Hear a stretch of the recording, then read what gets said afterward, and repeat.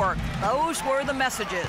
Coach was not wasting any time in altering their strategy here in the second half. And Kevin, he's going to have to hope those changes take effect quickly.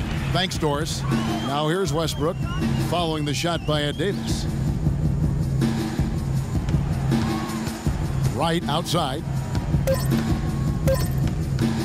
This one for three. And again, Oklahoma City with the triple. That gives him his second three of the half with